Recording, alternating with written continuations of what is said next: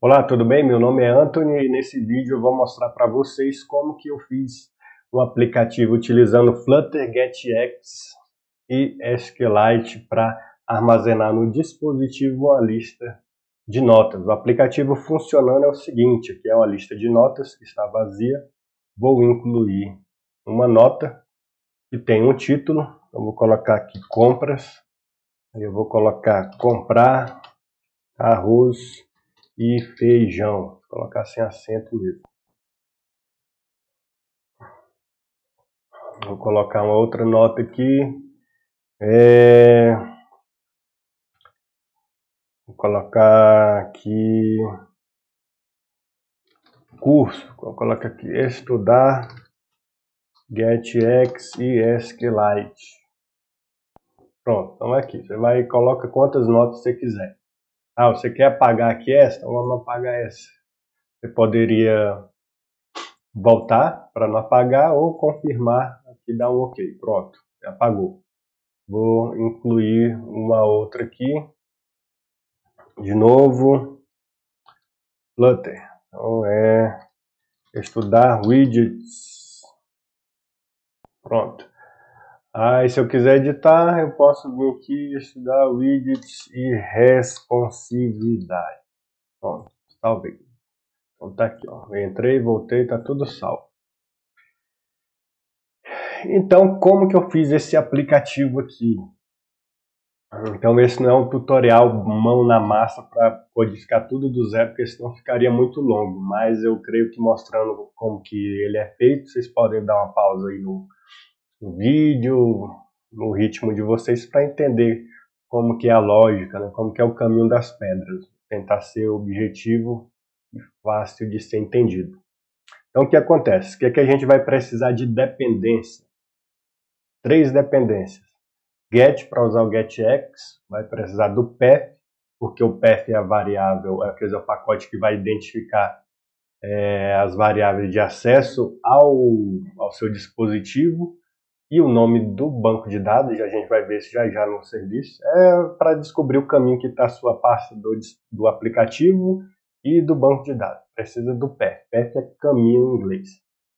E a gente vai precisar do package do SQLite, lógico, para poder usar o SQL e o banco de dados local aqui. É o nome do package SQLite. Depois que a gente importar isso, o que a gente faz?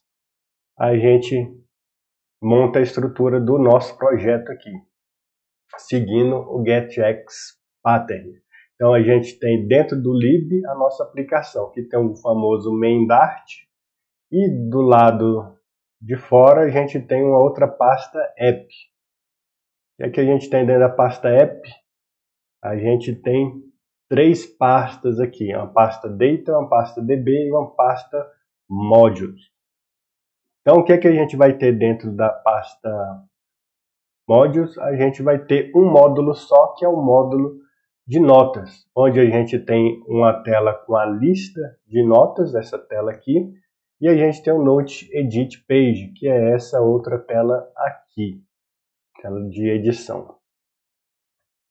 E a gente vai ter a nossa controller, que vai trabalhar com os eventos da nossa das nossas duas páginas, da nossa list page e da nossa edit page. E a Note Controller vai se comunicar com a nossa camada de dados aqui no Data. Então, dentro do Data, a gente tem a Model, que é um Note Model. O que, é que a gente tem dentro da nossa Model? Um campo ID, para identificar cada registro na tabela. A gente tem o Title, que é o título, esse campo curso aqui, por exemplo. E temos o campo Content, que é o conteúdo da nota. Então aqui a gente tem o título, como a gente pode ver aqui no aplicativo, título e o conteúdo. Então o curso está dentro de title e estudar GetX SQLite está dentro do content. E é identificado no banco de dados pelo ID. Então é isso que a gente tem na model. Tem outro detalhe que eu volto já já, que é esse copy aqui. Já já eu explico ele. Então no Data a gente tem o nosso modelo de notas, que é esse aqui, que eu acabei de abrir. A gente tem um provider, que é quem vai chamar dentro do nosso serviço de notas funções de recuperar todas as notas, de salvar uma nota, de atualizar uma nota, de excluir uma nota. E a gente vai ter o nosso repository, que é para desacoplar mais a nossa controller, camada lá de eventos e negocial do nosso, da nossa base de dados. Então, já já eu detalho mais isso aqui. Mas o que é o mais importante aqui do aplicativo é o serviço de notas. Então vamos nos atentar mais a ele. Então, o Node Service é um serviço do GetX. Ele não é um controle. Isso aqui não é uma controle assim, porque a controle ela pode ser desposada, ela pode sair do ar, ela pode, dependendo da navegação das páginas, o Flutter poderia matar a nossa controla e ela não ser mais acessível. E o, e o serviço não, o serviço ele fica instanciado o tempo todo. Esse serviço aqui, ele é instanciado no início do aplicativo. Olha aqui o main Dart. Assim que o aplicativo começa a rodar, o Flutter vai executar esse Flutter Bind para ver se todas as dependências estão certamente inicializadas aqui, dependências do, do Flutter. Depois que está tudo ok com o Flutter, ele vai e coloca o serviço no ar. Olha aqui, é até assíncrono. Ele espera o serviço ficar no ar para executar o aplicativo, que é o que está aqui dentro do MyApp, o Get Material App. Dentro do Material App, a primeira página que ele vai abrir no Home é o Note List Page, que é essa tela de Note List aqui, e que é esse Note List Page aqui dentro do nosso é, módulo de notas. Então, voltando aqui para o nosso serviço. No construtor desse serviço, ele já tem aqui se eu colocasse só isso aqui e apagasse tudo aqui para baixo, o nosso serviço já ia funcionar.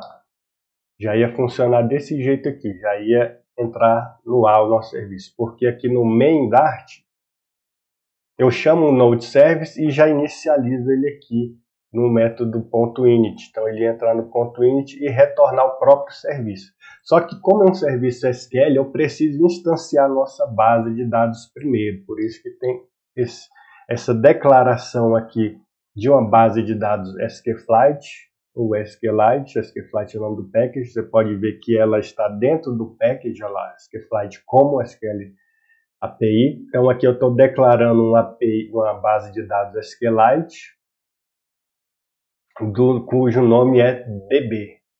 E aqui, o silate aqui não é um final, é um late porque ela vai ser instanciada depois do método init.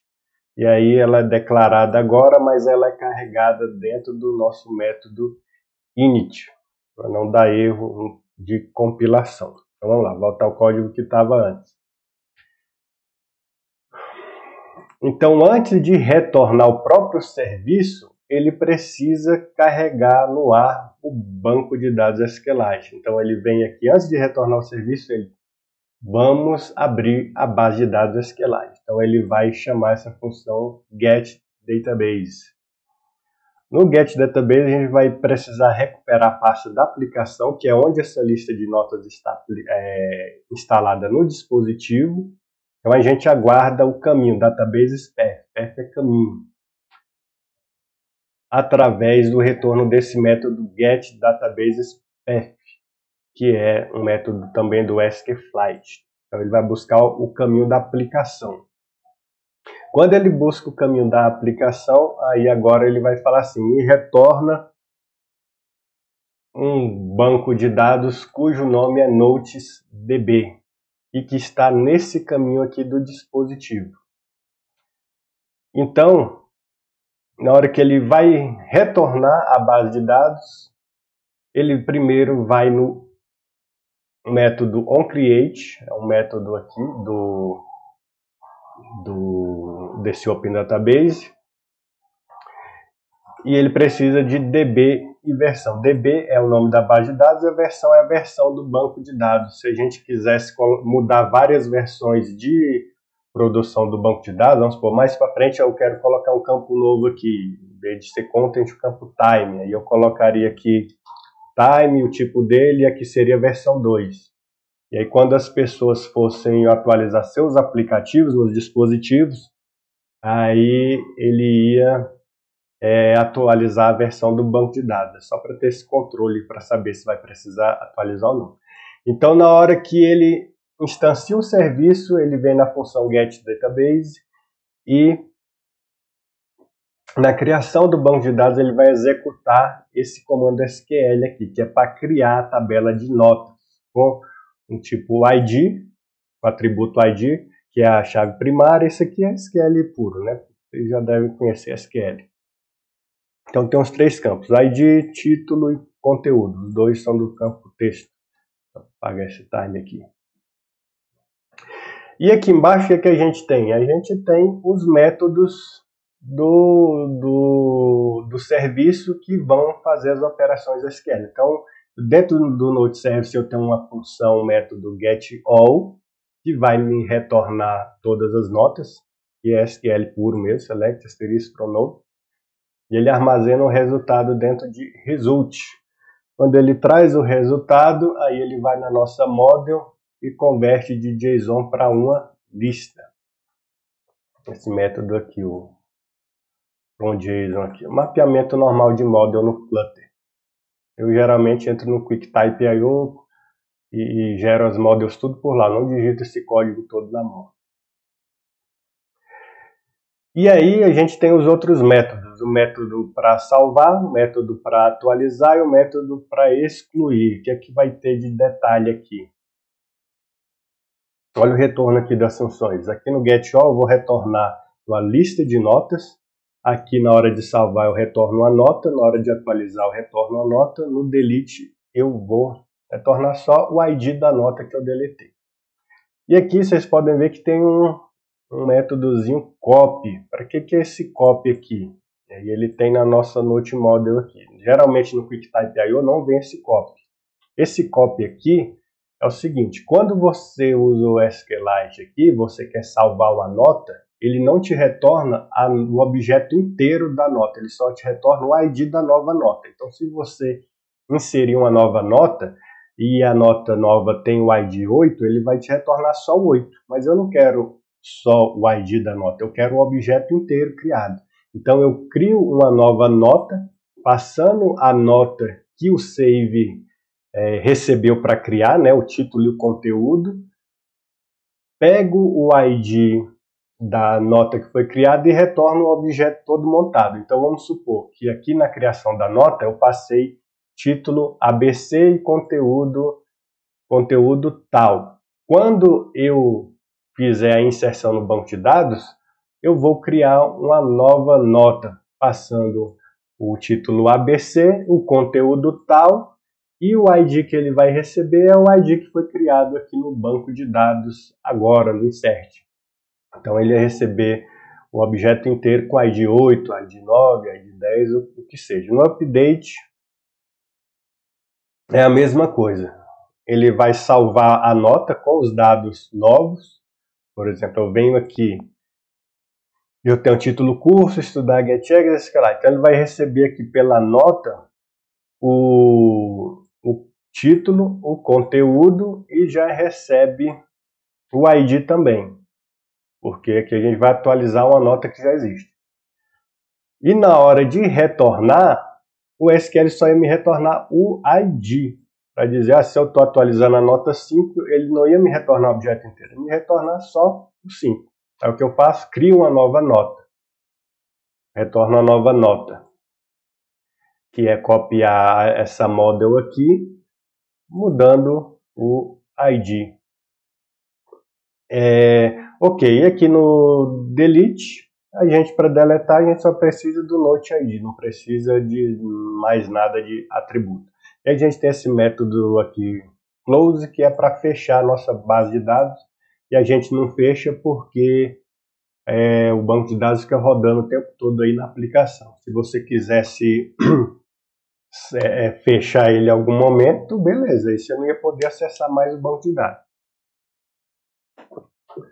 Então, resumindo, o serviço é isso. Se você quiser usar SQL em SQLite qualquer aplicação sua do Flutter, basta usar esse código aqui e acessar de qualquer lugar. Se você não tivesse é, usando essa arquitetura aqui, você chamaria direto logo da controle o delete, o update, tanto faz. Mas a gente está seguindo uma arquitetura mais tranquila. E aí você pode ter observado aqui esse código comentado. O que, é que ele faz aqui? Do jeito que o aplicativo está agora, toda vez que eu entro no aplicativo, ele só vai abrir a base de dados para utilizar é, se não tivesse sido criada, se já tivesse sido criada ainda. Se não tivesse sido criada, ele vai e executa isso aqui, é no método onCreate, né?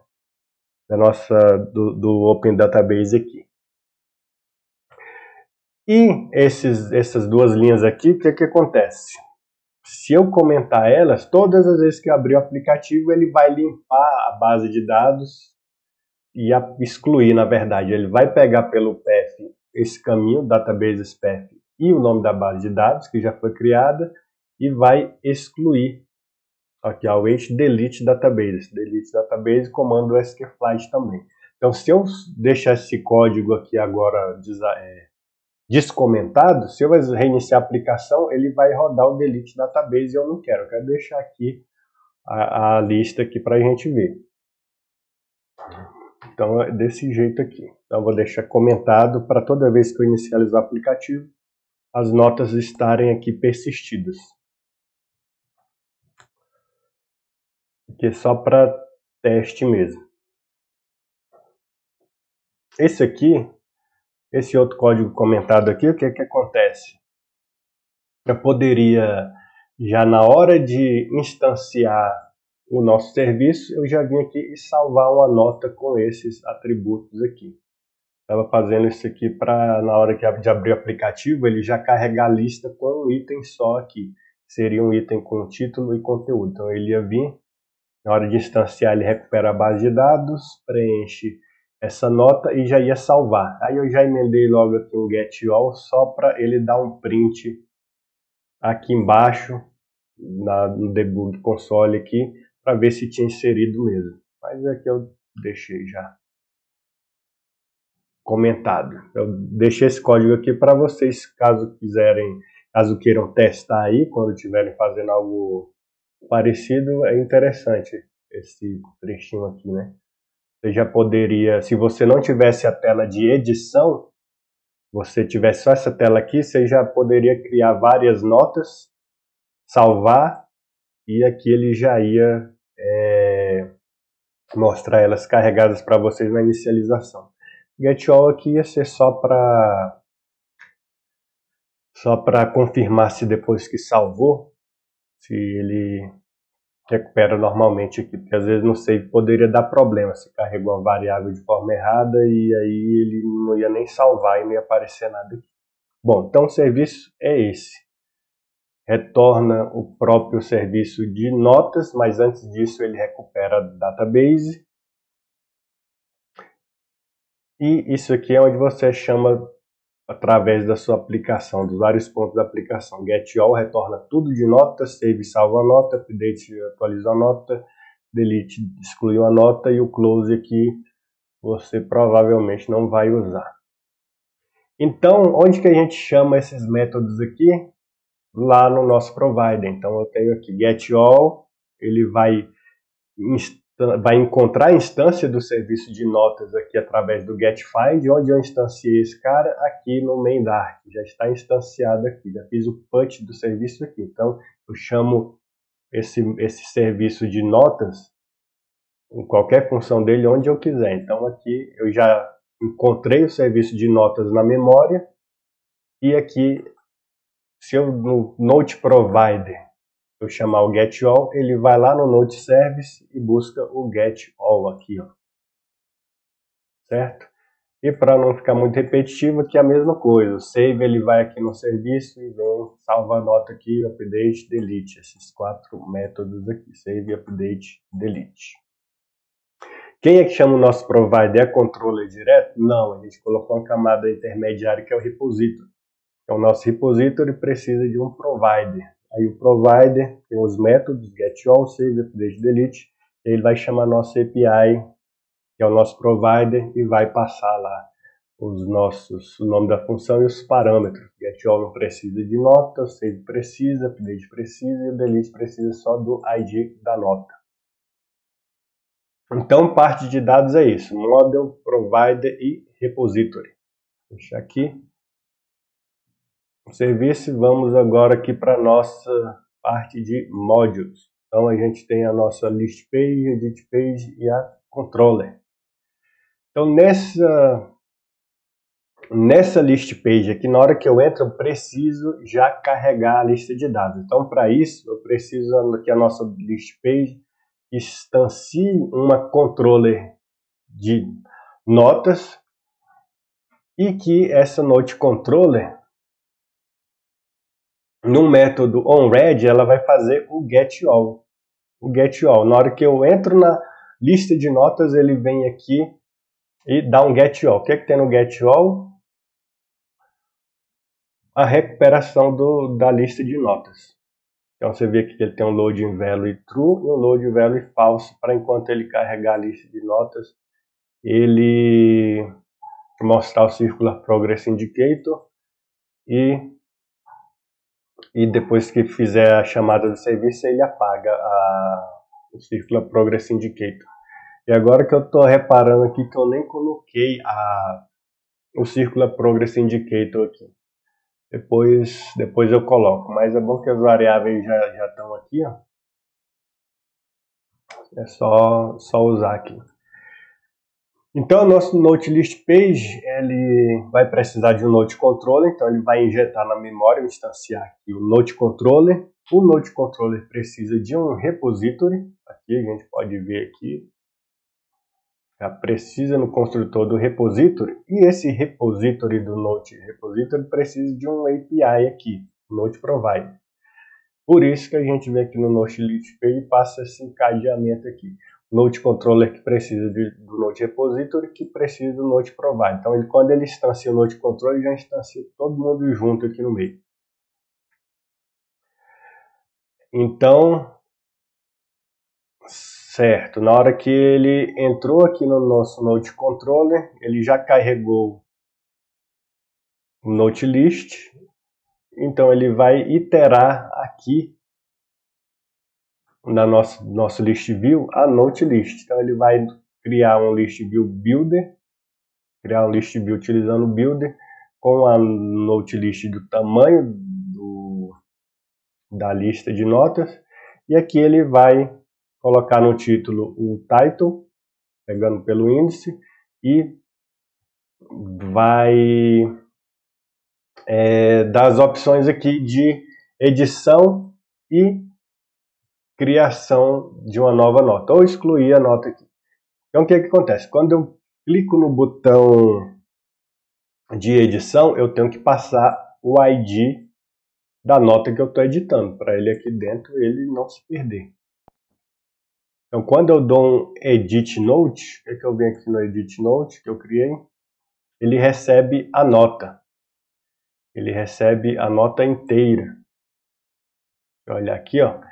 Eu não estou passando um atributo, eu estou passando o objeto, a nota inteira daquela posição do index aqui. Então eu recebo a nota e aqui nos dois text fields eu vou receber o título e o content. Então essa tela aqui, ela tem dois form fields aqui, ó. Tela de edição. Precisa da Note Control nessa tela? Precisa. Então ele já manda ele buscar na memória aqui, o getFind. Ele já buscou a instância da Note Controller que foi instanciada aqui, ó. Put. Aqui ele instancia e aqui ele busca a instância, né? A busca controller instanciada já em memória. Put, não tem na memória, ele vai lá, joga na memória controle. Find, ele, ah, ele supõe que já existe essa controle na memória, vai encontrar ela, essa instância aí. Então aqui nessa tela a gente só tem dois test form field aqui, ó. Olha isso, dois test form field. Test form field aqui a gente colocou a controller para acessar os dados, né? Então controller tem um title controller, focus node, title focus node, aqui é coisa básica lá do Flutter também. Request Focus. Então eu criei aqui Content Focus, Title Focus Load. Isso aqui é para dizer que depois que eu editar o title pro submit, ele muda o foco pro pro content aqui embaixo. E a gente tem um botão salvar que vai no evento OnePressed, ele vai validar o formulário com esses dois campos. Se validou, ele vai no Edit Mode. Aí já a gente volta nesse Edit Mode. Então, na hora que eu clico no botão Editar Nota, eu vou passar um ID de nota. Por que, que eu vou passar um ID de nota aqui? Porque é, tanto eu clicando no botão de editar ou clicando aqui no botão de mais, eu vou para a tela de edição de nota. Mas qual que é a diferença? Quando eu vou editar uma nota, eu passo o ID daquela nota que já existe. Quando eu clico no mais, eu não estou passando nenhum ID de nota que já existe. Então, não vou passar esses argumentos aqui com o Note ID. Olha a diferença aqui. Quando eu vou adicionar uma nota, eu só vou chamar o Note Edit Page. Estou aqui, quando eu clico no Add Note, pronto. Já vim aqui, não passei ID.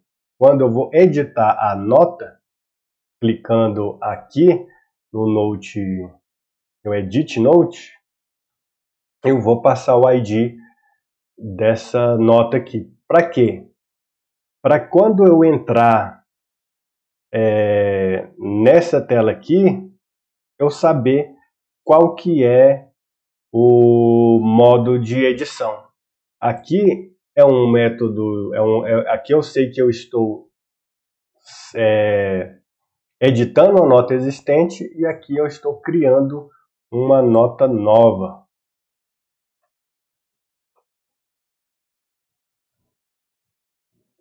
Então, quer ver aqui, ó, peraí.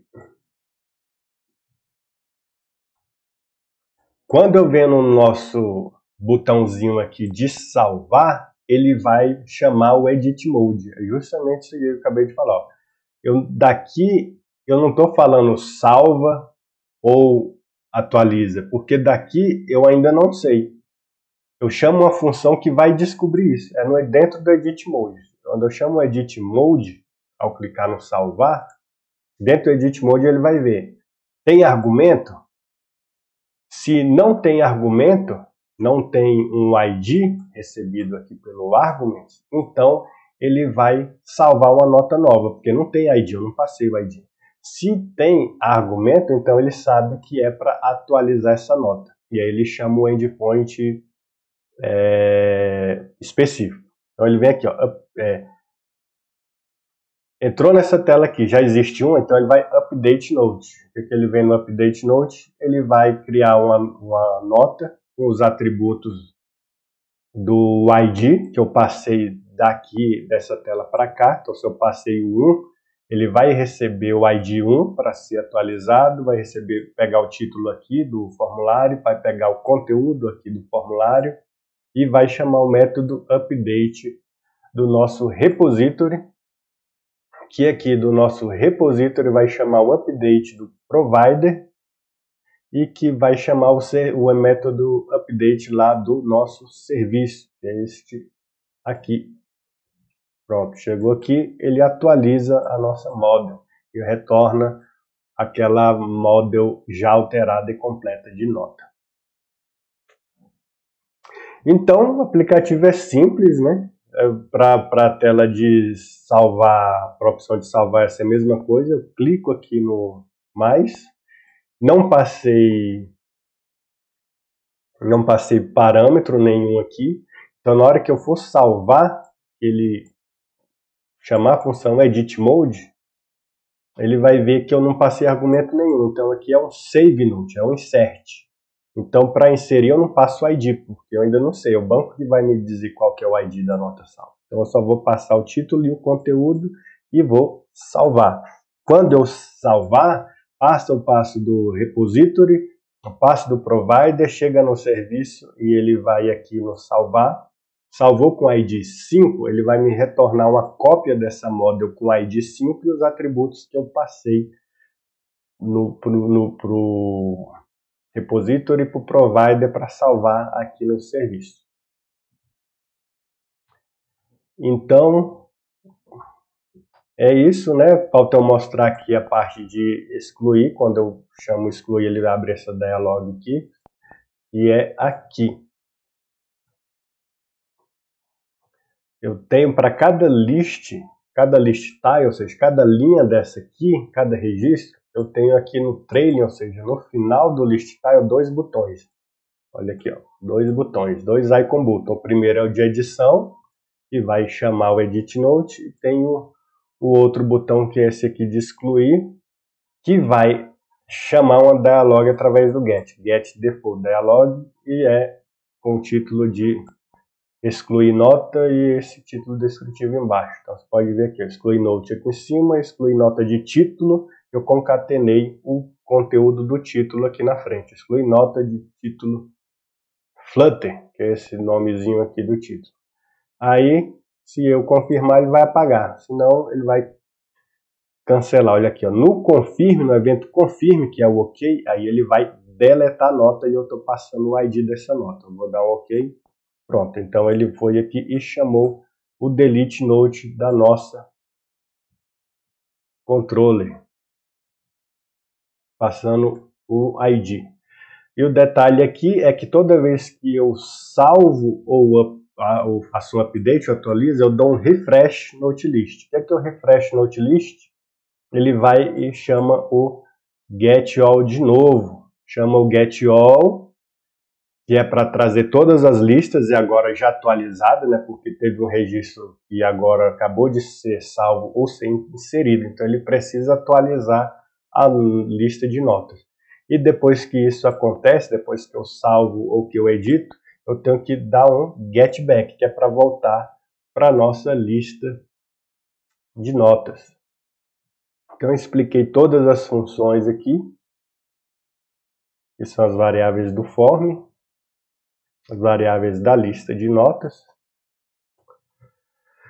E é isso aí, pessoal. Um aplicativo simples.